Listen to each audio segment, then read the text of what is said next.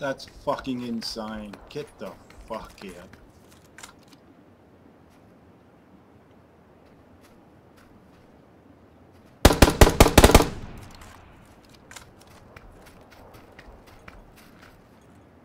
That's just horseshit.